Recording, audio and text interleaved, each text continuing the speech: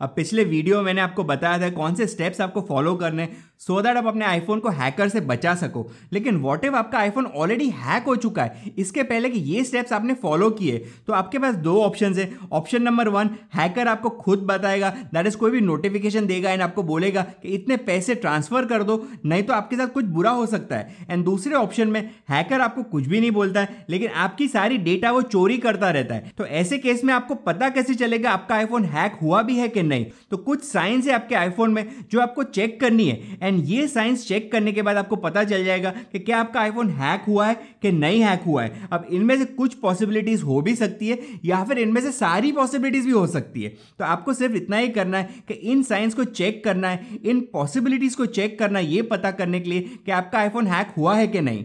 नमस्कार दोस्तों, मेरा नाम है Amit. Welcome back to ology in tech in Hindi it's time for technology तो आइए आपको ये साइंस या फिर पॉसिबिलिटीज दिखा देता हूँ सो दैट आपको पता चल सके कि आपका आईफोन हैक हुआ भी है कि नहीं। तो सबसे पहली साइन जो आपको चेक करनी है दैट आपका आईफोन स्लो वर्क करेगा। अब अगर वो स्लो वर्क कर रहा है, उसका मतलब ये कि बैकग्राउंड में कुछ ऐसे ऐप्स है, या फिर ऐसा कोई मेलवेयर है जो फ़ंक्शन कर रहा है एंड वो मेलवेयर करेगा ये कि आपके आईफोन से डेटा चोरी करता रहेगा। एंड सिंस बैकग्राउंड में वो वर्क करता रहेगा, इसी वजह से आपका आईफोन जो है वो स्लो वर्क करता है। तो अगर आपका आईफोन ज़रूरत से ज़्यादा स्लो काम कर रहा है, जबकि आपने कोई ऐसा हैवी कोई ऐप यूज़ ही नहीं किया है। तो इन दैट केस हो सकता है कि बैकग्राउंड में कोई हैकर अपना काम कर रहा है। नेक्स्ट साइन जो आपको चेक करनी है वो ये कि आपका आईफोन कहीं ज़रूरत से ज़्यादा हीटअप तो नहीं हो रहा है। तो सिंस बैकग्राउंड में ये सारी एक्टिविटीज़ चल रही होती है, उसके वजह से आपका फ़ोन हीटअप होगा। अब नॉर्मल कोर्स में अगर आप कोई हैवी एप्स यूज़ कर रहे हो, या फिर आपके फ़ोन में और कोई दिक्कत है तो आपका फ़ोन हीटअप हो सकता है। लेकिन अगर आप कुछ भी नहीं कर रहे हो, आपका फ़ोन आइडल पड़ा हुआ है, कोई प्रॉब्लम भी नहीं है आपके फ़ोन में तो बैकग्राउंड एक्टिविटी की वजह से भी आपका आईफोन हॉट हो सकता है। नेक्स्ट आपको चेक करना है, क्या आपका आईफोन एक्सेसिवली उसकी बैटरी ड्रेन हो रही है?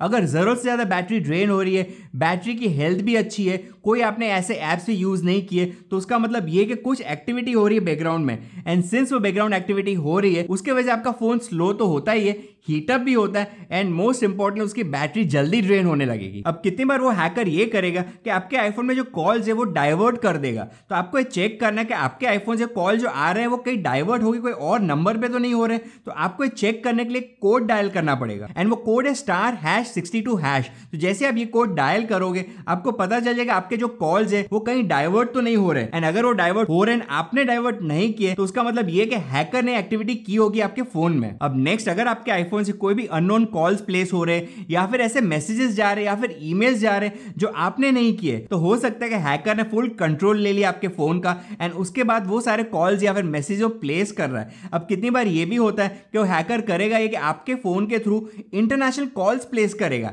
एंड उन कॉल्स को किसी और को बेच देगा। तो होगा ये कि इसका जो बिल है वो आपको पे करना पड़ेगा। तो सिंस हैकर ने आपके आईफोन का फुल कंट्रोल ले लिया होगा तो सब कुछ कर सकता है। तो ये चीज़ आपको मॉनिटर करनी है कि कोई अननोन कॉल्स नहीं हो रहे अननोन मैसेजेस नहीं हो रहे एंड ऐसे ईमेल्स नहीं जा रहे जो आपने नहीं किए नेक्स्ट अगर कोई भी एप्स ऑटोमेटिकली ओपन हो जा रहे हैं, आपने उस पर क्लिक भी नहीं किया है ऑटोमेटिकली खुल जा रहे हैं ऑटोमेटिकली क्लोज हो जा रहे हैं तो हो सकता है कोई हैकर अटैक आपके फ़ोन में ऑलरेडी हो चुका है। इसके सिवाय अगर कोई एप्स ऑटोमेटिकली क्रैश हो रहे हैं तो भी हो सकता है, एक पॉसिबिलिटी है कि एक हैकर के वजह से हो रहा है। ऑफकोर्स इसके कोई और भी रीजन हो सकते हैं, लेकिन ये एक पॉसिबिलिटी जो आपको चेक कर लेनी है। नेक्स्ट अगर आपके फ़ोन में कोई अननोन एप्स है जो आपने इंस्टॉल ही नहीं किए तो सडनली आप देखते हो आपके फ़ोन में कोई ऐसे एप्स इंस्टॉल हो चुके हैं जो आपने नहीं किए। तो आपको पीरियोडिकली चेक करते रहना कि ऐसे कोई एप्स तो नहीं है जो आपने इंस्टॉल नहीं किए। एंड अगर ऐसे कोई एप्स आपको देखने को मिलते हैं तो उसका मतलब एक पॉसिबिलिटी यही है कि हैकर ने आपके फ़ोन को हैक किया है एंड उसके बाद उन एप्स को आपके फ़ोन में इंस्टॉल किया है। नेक्स्ट आपको ये चेक करना है कि आपके आईफोन की बैटरी तो अच्छी है,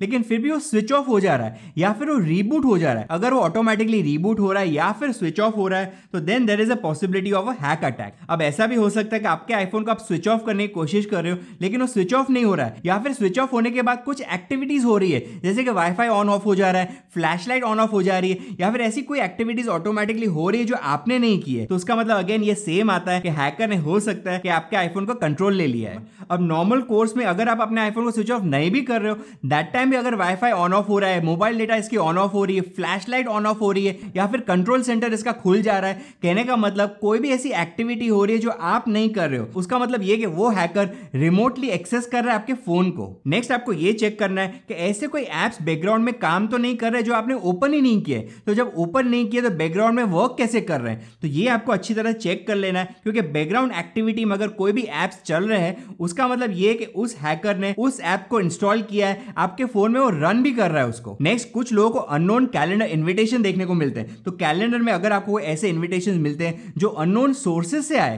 तो आपको उसके ऊपर सबसे पहले तो क्लिक नहीं करना है। एंड सेकेंडली आपको चेक कर लेना है कि क्या एक पॉसिबिलिटी हैकर अटैक की। अब एप्पल ने आपको एक ऑप्शन दिया है। दैट इज़ जब भी आप माइक्रोफोन या फिर कैमरा को ऑन करते हो तो ग्रीन या फिर ऑरेंज लाइट चालू होती है depending on whichever situation it is लेकिन अगर ये ग्रीन एंड ऑरेंज लाइट चालू ही नहीं हो रही है जब आप कैमरा यूज़ कर रहे हो या फिर माइक्रोफोन यूज़ कर रहे हो या फिर आप नहीं यूज़ कर रहे हो इन ऐप्स को फिर भी ये ग्रीन एंड ऑरेंज लाइट चालू हो जा रही है। तो उसका मतलब ये कि उस हैकर ने कंट्रोल ले लिया है एंड वो कुछ आपकी कैमरा एंड माइक्रोफोन के थ्रू आपकी डेटा चोरी करने की कोशिश कर रहा है। अब नेक्स्ट आपको ये चेक कर लेना है कि कोई ऐसे अननोन डिवाइसेस तो नहीं है जो आपके एप्पल आईडी से कनेक्टेड है। एंड उसके लिए आपको आना है सेटिंग्स में। सेटिंग्स में जहाँ पे आपका नाम लिखा हुआ है, वहाँ पे आपको क्लिक करना है। उसके बाद नीचे आपको सारे डिवाइसेस की लिस्ट दिख जाएगी। अब इन माई केस मेरा आईफोन दिख रहा है, मेरा आईपैड एयर दिख रहा है, मेरा मैकबुक दिख रहा है, लेकिन ये सारे डिवाइसेस मेरे जो मैं यूज़ कर रहा हूँ, इसलिए यहाँ पे दिख रहे हैं। लेकिन अगर यहाँ पे कोई ऐसा डिवाइस है जो आपका नहीं है, आप यूज़ नहीं कर रहे हो, लेकिन फिर भी यहाँ पे दिख रहा है, उसका मतलब ये कि कोई आपकी डेटा को चोरी करने की कोशिश कर सकता है। इसलिए आपको करना इतना ही है कि जो भी अननोन डिवाइसेज यहाँ पे आपको दिख रहे हैं, उनके ऊपर आपको क्लिक करना है सबसे पहले। एंड क्लिक करने के बाद नेक्स्ट आपको यहाँ पे ऑप्शन मिलेगा रिमूव फ्रॉम अकाउंट जैसे आप रिमूव फ्रॉम अकाउंट करोगे तो ये डिवाइस आपके एप्पल आईडी से अनलिंक हो जाएगा। तो ये चीज़ को आपको चेक करके यहाँ से आके उसको रिमूव कर देना है। अब इनमें से कुछ पॉसिबिलिटीज कोई सही रीजन की वजह से भी हो सकती है, कोई जेन्यून रीजन की वजह से भी हो सकती है।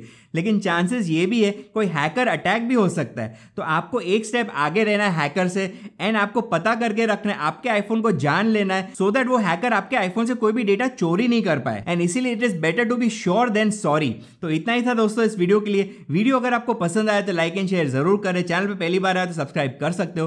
पास में आपको जो बेल आइकन दिख रहा है, उस पर भी क्लिक ज़रूर करें। देखते रहिए ology and tech in Hindi और मिलते हैं नेक्स्ट वीडियो में।